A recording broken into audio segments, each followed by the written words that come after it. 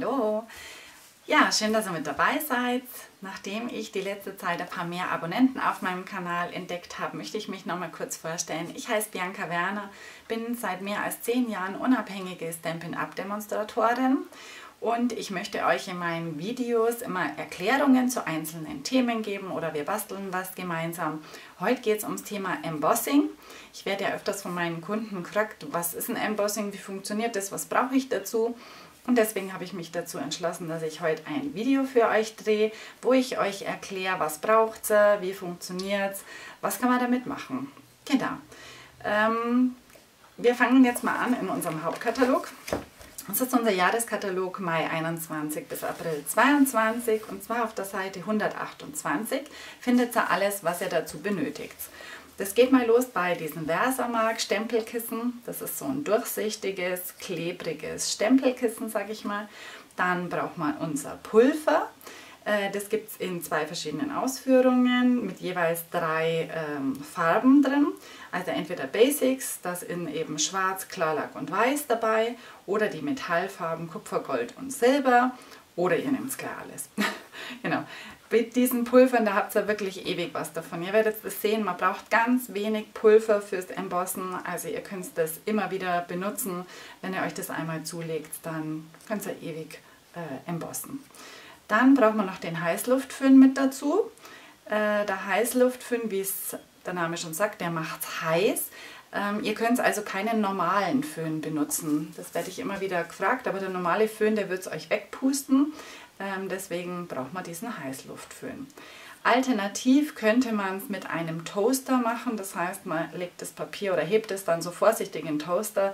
Das ist vielleicht für einen Anfang was, wenn man sagt, äh, ich will es erstmal probieren, aber ihr werdet sehen, also mit einem Heißluftföhn ist es schon tausendmal angenehmer und man verbrennt sich die Finger nicht so und man ja, macht sich außer dem Toaster nicht schmutzig. Genau, also wie gesagt, die äh, drei Dinge braucht man dazu und ich zeige euch jetzt, wie das funktioniert. So, ich nehme jetzt einfach mal ein schwarzes Papier, da könnt ihr es am besten erkennen. Ich nehme mir einen Stempel. Ich habe jetzt hier aus dem Set für allerlei Anlässe, das ist eins unserer Celebration Sets. Das gibt es im Moment ab 120 Euro äh, Bestellwert, gratis dazu. Und ich habe jetzt hier den Spruch, ein kleines Dankeschön fürs Mitfeiern, habe ich mir schon auf meinen Acrylblock äh, geklebt. Dann braucht man, ja, wie gesagt, dieses Versamark Stempelkissen.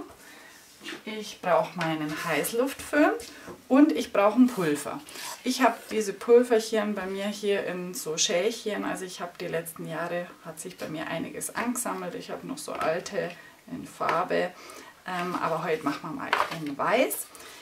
Wäre super, wenn ihr irgendeine ja, Tupperschüssel, Schale, was auch immer, so als Auffangbecken, weil dieses Pulver fangen wir hier unten auf und dann kommt es wieder zurück in die Verpackung deswegen braucht es ganz wenig davon. So, jetzt fangen wir an. Und zwar, ich nehme mein äh, Stempelkissen. Da gibt es übrigens auch einen Nachfüller dazu. Also ich habe ihn bis jetzt noch nicht gebraucht. Also dieses Stempelkissen ist von Haus aus schon sehr äh, saftig, sag ich einmal. Ähm, aber wenn ihr das Gefühl habt, das funktioniert nicht mehr, dann kauft ihr euch äh, den Nachfüller. Aber am Anfang braucht ihr den auf jeden Fall nicht. Genau, dann stempeln wir das Ganze einmal ab. Ihr seht es jetzt wahrscheinlich nicht mit der Kamera. Ich kann es so ganz leicht erkennen, dass es gestempelt ist. Ja, ihr könnt es vielleicht auch so ganz leicht. Ähm, aber das ist auch egal. Das Papier weiß ja, wo der Kleber ist. Und jetzt gehe ich mit meinem weißen Pulver hier drüber und fange das unten in meiner Schale eben auf. Genau. Wenn es zu wenig ist, gehe ich nochmal mit dem Pulver drüber, aber mir reicht es jetzt. Jetzt habe ich manchmal an der Seite eben so ein paar Pulverreste, wo ich sage, die will ich da eigentlich gar nicht haben. Jetzt gab es früher mal diesen Embossing Buddy. Da werde ich öfters noch gefragt, oh, warum gibt es den nicht mehr? Also ich persönlich vermisse ihn nicht. Ähm, der hätte den Vorteil gehabt, wenn du drüber gehst, dass das Papier nicht so statisch aufgeladen ist und dann eigentlich an diesen Stellen nichts landet. Aber der hatte immer so einen weißen Film. Also wenn man da drüber gegangen ist, dann war das Papier halt nicht mehr so schön schwarz, sondern so komisch weiß. Deswegen, wie gesagt, ich brauche den nicht, komme auch ohne den klar. Und äh, an den Stellen, wo es jetzt ist, wo ich es nicht will, ich ploppe hier so dagegen und dann verschwindet es. Wenn es jetzt an der einen oder anderen Stelle noch ist, wo ich sage, na, da wollte ich es doch auch nicht haben, dann geht es einfach mit dem Finger oder mit dem Pinsel drüber und nehmt es weg. Und dann habt ihr es wirklich nur da, wo ihr es gern hättet. Genau. Wie gesagt, die Reste kommen jetzt wieder zurück nachher. Das mache ich immer über einen Abfalleimer, da schütte ich das über die Ecke hier wieder rein. Aber wir wollen ja jetzt embossen. Das heißt, ich nehme meinen Heißluftföhn, gehe hier drüber. Ich weiß nicht, ob ihr es im Video erkennen könnt. Ich nehme euch mal mit dem Zoom hier mit rein. Und so. Normalerweise, wenn man embosst, man sieht es dann ganz schön, es wird kräftiger weiß, ähm, aber ich weiß jetzt nicht, ob ihr es im Video erkennen könnt. Schauen wir mal.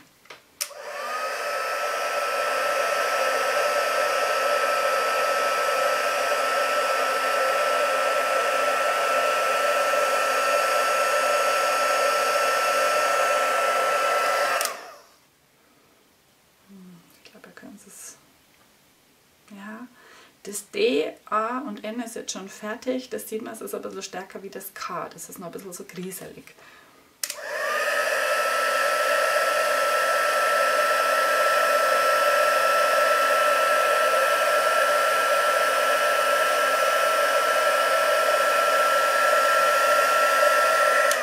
Genau.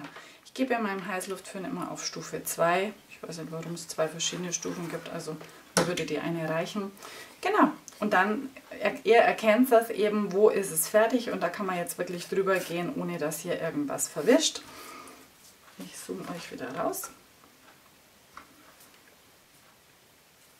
Na.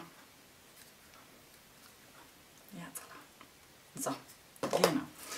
Also, das geht ganz einfach. Ihr könnt alle Stempel hernehmen, egal ob das Gummi- oder äh, Klarsichtstempel sind.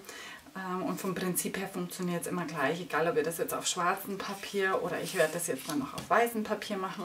Man kann es auch auf Pergamentpapier machen. Ähm, da ist es ja auch immer schwierig mit dem Stempel und da geht es mit dem Embossing eben ganz gut. Und jetzt kann man hier eben dieses Etikett ausschneiden, ausstanzen, wie auch immer und dann kommt es auf die Karte drauf. Oder wie in meinem Fall, ich habe hier schon mal ein Kärtchen vorbereitet. Ich habe hier unten äh, das Ganze drauf gemacht, allerdings nicht mit Embossing, sondern gestempelt. Ich zeige euch mal den Unterschied. Also es gibt ja auch ein weißes Stempelkissen, das wäre die Alternative zum Embossing. Dieses Stempelkissen hat keine Tinte, sondern diese Kraftfarbe. Das heißt, äh, das ist ein bisschen barzliger in Anführungszeichen und braucht ein bisschen länger zum äh, Trocknen. Genau, da gehe ich jetzt einfach mal mit meinem Stempel rein und seht hier den Unterschied. Genau, also das Embossing ist intensiver von der Farbe und äh, was beim weißen Stempelkissen ist, da muss man wirklich eine Zeit lang das trocknen lassen. Wenn man da jetzt gleich drüber geht, dann verschmiert das so ein bisschen. Genau. Das geht auch. Also ich mag für filigrane Sachen, mag ich ganz gern das Embossing. Ähm, ja, finde ich immer die schönere Variante. Aber das weiße Stempelkissen hat schon auch seine Daseinsberechtigung. Genau, aber beim Embossing kann ich natürlich auch verschiedene Farben. Da kann ich jetzt eben Gold, Kupfer, was ich eben an Pulver da habe, noch benutzen. Gut, dann ähm, möchte ich mit euch jetzt eben sowas machen wie hier auf meiner Karte. Das heißt, auf weißem Papier werde ich mit einem Weiß embossen und dann werde ich das ganze Motiv mal anmalen. Ich habe hier unser Stempelset Entspannte Momente.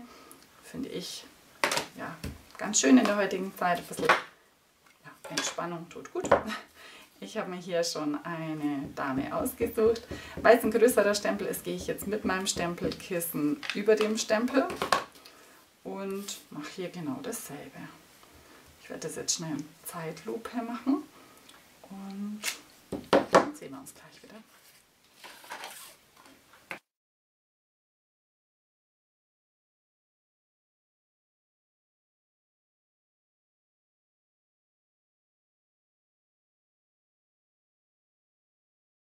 Ihr habt das vielleicht gesehen beim Embossen. Ich versuche immer so ein bisschen von meiner Hand wegzuföhnen, weil wenn ich zu meiner Hand hinföhne, dann wird es natürlich heiß. Ähm, also immer auch mal an der anderen Ecke packen und dann embossen. Genau, die Stempel, die könnt ihr ganz normal in unserem äh, Stempelkissen reinigen. Da müsst ihr nichts beachten. Wo ist mein Spray? Hier. Genau, unser Reinigungskissen wird einmal eingesprüht. Dann gehe ich mit meinem Stempel, der vorher im Versamark war, einfach drüber. Stempel noch ein, zweimal ab und dann ist fertig. Das gleiche auch beim weißen Stempelkissen. Das wird zwar dann einfach so ein bisschen äh, weißer, aber das ist alles gut. Ähm, von Zeit zu Zeit reinige ich mein äh, Stempelkissen, indem dass ich hier einfach Wasser drüber laufen lasse, im Wasser oder vom Wasserhahn und ich stelle es mir über Nacht auf dem Handtuch so in die äh, Badewanne rein und dann ist das am nächsten Tag wieder trocken und sauber. Genau, also wie gesagt, da braucht es auf einem Embossen jetzt nicht ein extra Reinigungskissen oder so. So, jetzt wie koloriere ich das Ganze? Und zwar, ich habe hier meinen Wassertankpinsel. Der ist ja mit Wasser hier unten gefüllt und da kann ich mit einem Pinsel alle möglichen Farben benutzen. Wenn ihr jetzt mit Gelb anfangen möchtet ähm, oder wenn ihr Gelb benutzen möchtet, dann würde ich empfehlen, immer mit der hellen Farbe anzufangen und sich dann nach durch, dunkel durchzuarbeiten. Das funktioniert so, ihr drückt dieses Stempelkissen ganz fest äh, an die Rückwand und dann äh, landet hier Farbe. Ihr könnt es dann auf euren Wassertankpinsel drücken, dann kommt unten ein Tropfen Wasser raus. Da ist jetzt bei mir schon flüssig, weil ich es vorher schon gemacht habe. Und dann könnt ihr diese flüssige Farbe von hier aufnehmen und könnt, äh, machen wir hier mal einen grünen Pulli, hier einfach drüber malen. Das Schöne ist, da kommt das Embossing jetzt noch mehr zur Geltung, wenn ich da mit meinem Wassertankpinsel drüber gehe. Hat einen ganz schönen Effekt, finde ich. Genau. Wenn ihr anfangt mit dem Pinsel zu malen, an der ersten Stelle ist es natürlich am dunkelsten und dann wird es immer heller. Deswegen, ich male jetzt meinen Pinsel hier auch aus, bis eigentlich ja, so gut wie keine Farbe mehr drin ist, weil dann kann ich in die nächste Farbe gehen. So, da kriegt jetzt ein rosa Oberteil. Das ist jetzt schon ein bisschen trockener, da mache ich einen Tropfen Wasser rein. Äh, rosa Hose bekommt ihr.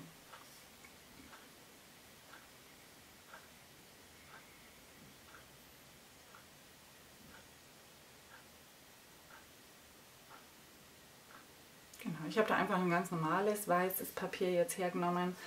Ähm, man könnte auch Aquarellpapier hernehmen, aber ich gehe da jetzt nicht 20 Mal drüber. Also so viel Wasser landet da jetzt auch nicht. Und deswegen geht es auch mit dem normalen Papier. Jetzt mache ich noch blau im Hintergrund.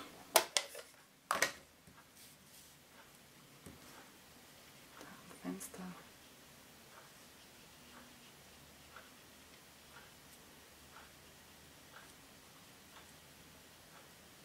Wie gesagt, es wird immer heller, je länger ich mal. Ich kann dann natürlich noch mal Farbe aufnehmen.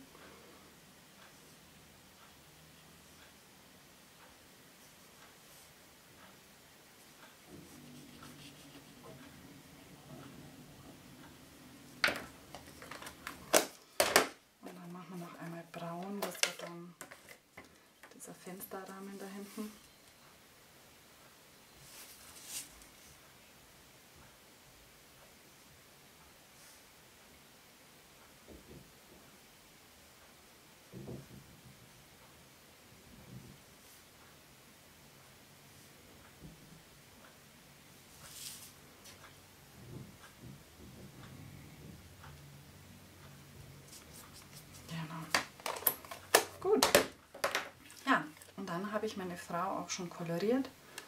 Ich würde jetzt wahrscheinlich noch die Haare, naja, die kriegt noch braune Haare.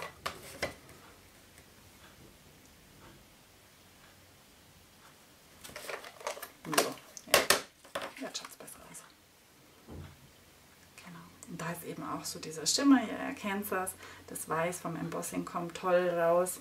Also ich finde, das ist echt eine äh, coole Technik mit diesem Embossing. Ja, ich habe auch schon mal in der Vergangenheit Karten gebastelt mit Embossing. Also das waren jetzt hier weihnachtliche Dinge. Da habe ich so, ich glaube Kupfer war das oder Gold. Ähm, da habe ich Designpapier embossed. Also muss nicht immer Farbkarton sein. Und da kann man das eben auch schön erkennen. Das glänzt auch so. Oder ich hatte auch mal einmal diese Karte mit der Handtasche innen drin. Da habe ich auch ein Video dazu gedreht. Und da habe ich jetzt in, in Silber den Spruch embossed auf Farbkarton. Genau, also da sind eurer Kreativität keine Grenzen gesetzt. Ähm, wie gesagt, auch beim Pergamentpapier funktioniert es genau gleich. Ähm, ja, mehr kann ich euch dann, glaube ich, gar nicht dazu erzählen. Das war es schon. Also wie gesagt, das ist kein Hexenwerk nicht, wenn man weiß, wie es geht. Die drei Sachen braucht ihr dazu. Eventuell noch die Aquarellstifte, wenn ihr kolorieren wollt. Ähm, oder Wassertankpinsel. Und ja, ich hoffe, mein Video hat euch gefallen, hat euch äh, ja, ein bisschen weitergebracht mit dem Thema Embossing.